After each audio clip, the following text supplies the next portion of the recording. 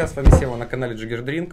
И сегодня я не один вино, я сегодня у меня в гостях мой друг Стеня Папарелло, мы знакомы достаточно давно, видимся крайне редко, раз в три года примерно. Вот, а сегодня она у меня в гостях в ресторане Синкевич в городе Омске, и мы будем сегодня пробовать вместе с ней вина, которые она и представляет, компанию Форнези Вини. Вот, а, и мы начнем, наверное, с Альта Квота, Пикарино, Терра ди Ченти, Грансасо. Кети, Кети, Кети, Терра де Кети. Вот Стеня очень хорошо говорит по-русски, поэтому нам переводчик даже не понадобится. Ну, не так хорошо, но да, попробуем. Окей. А, Стеня, что значит вот Альта Квота? Почему это название появилось на этикетке? Потому что вот это вино делается виноградным сортом пекорино, который растет, э, выращивается э, на берегу моря, но наши э, горы очень близко к морю находятся. И вот наши горы 3000 метров. Это И Грансасо. Это Грансасо. Альтакота по-итальянски, ну, э, можно перевести как высоко. Мгм. Ну, в общем, потому что, несмотря на то, что вот наши виноградники растут близко к морю, все равно они достаточно высоко, близко тоже к горам. То есть этим самым отображается, скажем так, участие гор э, в формировании вкуса вина. Конечно, конечно, потому что э, у нас горы такие высокие, они позволяют э, эм, круглый год, целый год э, иметь достаточно высокий перепад температуры э, между ночью и днем. И Мгм. это э, сильно влияет на свежесть, на ароматы, на фруктовость. Ну и вообще на созревание вина. Ну, Да. давайте попробуем. Так, вино достаточно, кстати, молодое. Это у нас 15 год, что, несомненно, плюс этому вину. А, цвет вина. Очень приятный, свежий, соломенный цвет, такой очень легкий, даже чуть-чуть золотистый. Мгм. Мгм, да. Очень радует Верно. глаз и с очень хорошим живым блеском. Что говорит о хорошем. Такой пред- предположительно хорошая текстура вина будет. Первый нос. Ну, я не знаю, что ты думаешь. Мне кажется, достаточно фруктовый. Да, такие нежные фрукты. Сов- сов- совсрез- да, Совстревшие, как называется? Сосревшие. А, зрелые. Зрелые, Да, да. зрелые фрукты. Не знаю, все почему-то как-то у меня был сомелье, он говорил, что пикарина именно альтаквота пахнет немножко барбарисом, но мне так не кажется. Я даже не знаю, что такое барбарис по-русски. А, это ягода такая. Ну, мне больше кажется, знаешь, оттенки манго или ананаса, вот такие приятные. Да, более экзотические, да, Да. тропические.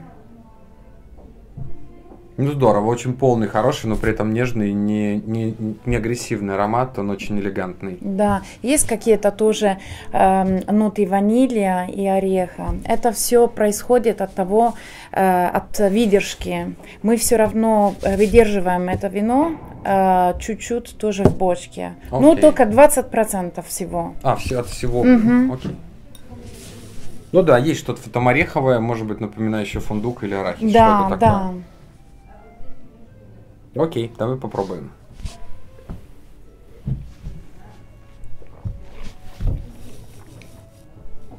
Ой, рот еще более фруктовый, еще более такой экзотический. А, почувствуешь тоже минеральность, как будто Да, там языка. соль, да, да. Очень хорошо чувствуется Это все происходит от э, моря на самом деле, которое Ну да, кстати, близко. пекарино само по себе название забавное, потому что пекарино это, если не ошибаюсь, Маленькая овца. Маленькая овца, да, овечка. Овечка, да. Вот. И есть такой еще сорт э, сыра в Италии, пекарино, Мгм. который делается из овечьего молока. Вот, поэтому я не знаю, с чем это связано, почему Нет, это связано с тем, что вот э, э, те люди, которые занимались скотоводством в прошлом, они тоже выращивали виноградники пекарино.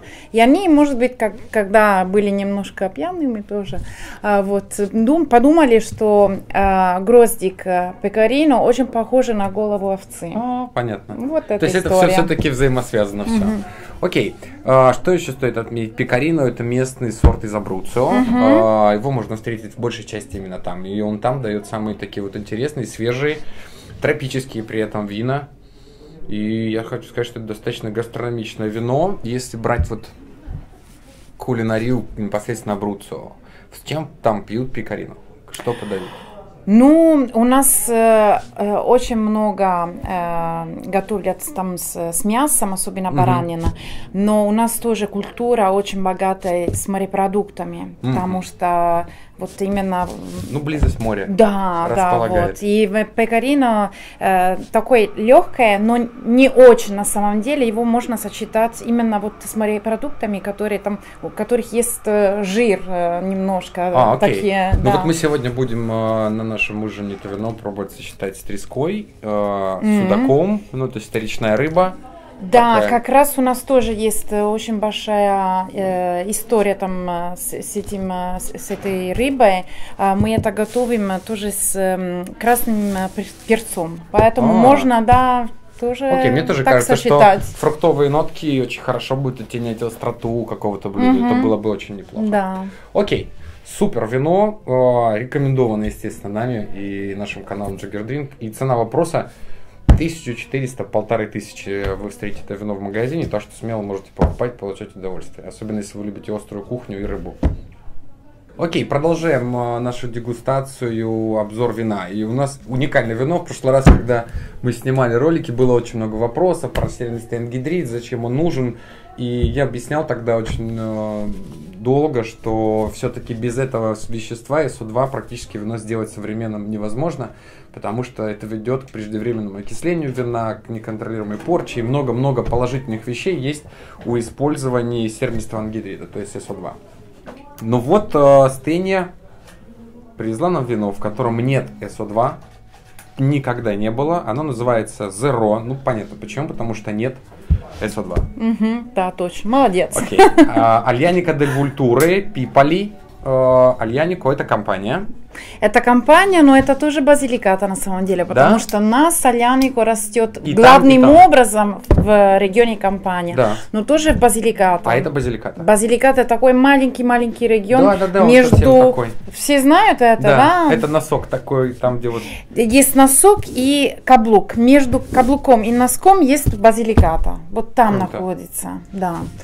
И на самом деле в базиликате очень мало растет виноград, Да, но такой- те, которые есть, они вообще очень вкусные. Супер, открываем. Вот, это будет очень интересный способ узнать. Вообще альянико это достаточно тонинный сорт винограда. Да, И в данном случае вот наличие вот этого огромного количества танинов и обеспечивает как естественный э, консервант, э, как фермент пере- пере- первоочередной к окислению, он обеспечивает вот эту нужную сохранность вина без использования, без использования сернистого ангидрида и СО2. Супер. Сейчас, сейчас посмотрим. да. Как там? Итак. Пробуем. Смотрим на цвет. Хороший ровный цвет, э, ближе к рубиновому, но вот что-то в нем есть такое, немножко, не скажу, что это коричневый, это такой э, чернильный немножко оттенок у него, Мгм, да. как у чернила. Да, и обычно он может даже получать немножко еще более прозрачные. То есть альянико это такой сорт, который То есть он, более он, он не, да, он цвет не дает мощный, но дает очень мощный тонин. Да. Он похож этим на небиола. На. Небиола, да, да, вот и говорят, что Альянико это как Бароло, юж... из Южная юга Бароло. Италии, Южный Бароло, да. Ну, блеск очень живой, явно очень много алкоголя, 13,5. Но аромат, конечно, М. потрясающий, теплый, он прям нежнейший, Да. несмотря на то, что я ожидал чего-то такого сильного. Теплый, хорошо сложенный аромат черных ягод и пряностей. Я даже не знаю каких, но немножко а, пряного оттенка черного перца, прям совсем чуть-чуть. И что-то есть такое от мяса, вот я не знаю даже как это назвать, животный оттенок такой да, да, как кожа Да. чуть-чуть. Или... Может быть даже какие-то цветы, как ни странно. Бальзамика тоже. достаточно. Бальзамические нотки, да. Вот это да, кстати, бальзамические оттенки есть. В общем, назвать это вино ягодным нельзя, вот так по большому счету. Те ягодные Ну, нотки, которые есть, здесь есть, но есть, они Но- Гораздо скромнее. Да, скромнее, потому что здесь очень много всего на самом деле. Есть разные ноты, и они играют между собой. Ну, аромат точно оригинальный. Я бы сказал, что это достаточно мужской такой аромат.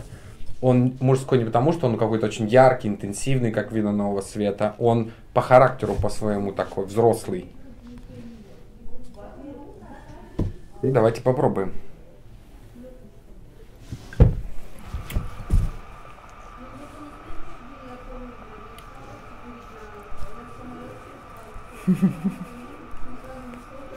Пытаясь оценить долгость послевкусия,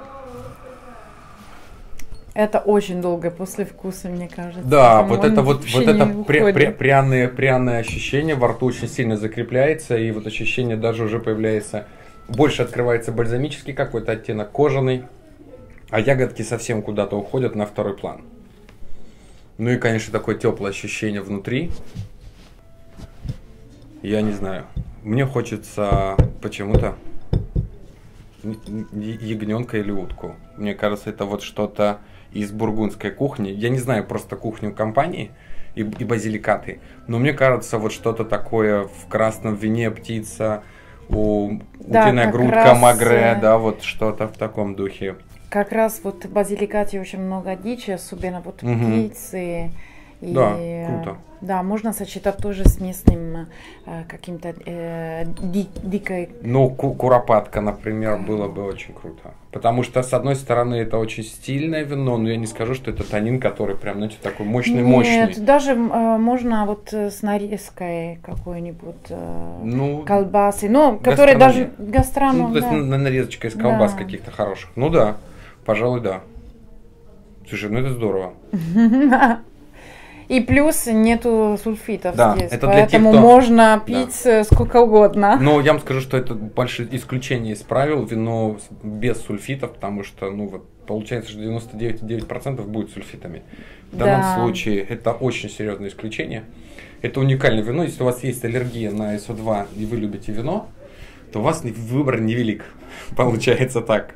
И если честно, вот это очень сложно на самом деле делать да. вино без сульфитов вообще, потому что его э, сложно можно выдерживать, сохранить со временем. Да. И иногда даже вот э, танины слишком сильные могут получать. А вот здесь ну, да, танины будет грубоватым, да. да. А здесь грубоватым. вино получается очень деликатно, mm. несмотря на... Да. Вот сейчас сижу, все-таки не проходит это ощущение пряного вкуса. Потрясающе. Очень хорошо. Окей, э, цена вопроса за эту бутылку это где-то порядка 1200 рублей. Это не глобально дорогое вино, несмотря на свой уникальный подход э, э, отсутствия СО2. И давайте наполним эти бутылочки. Каждую из этих я готов наполнить на 80%, ибо это действительно очень классные вина с сочетанием цена-качества. Вот, и оба вина производятся в компании Форнези Вина, Форнези Вини, Альта Квота Пикарина Терра Ди Кети. Кети. Вот Гран Сассо и Альяника Дель Вультура Зеро Пиполи.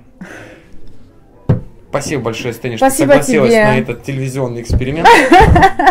Молодец, что все выпил. Ну да, это Все, вкусно. в один раз, молодец, Окей. я не умею. Но мы еще вечером будем сейчас пить вино, чуть больше вкусного вина.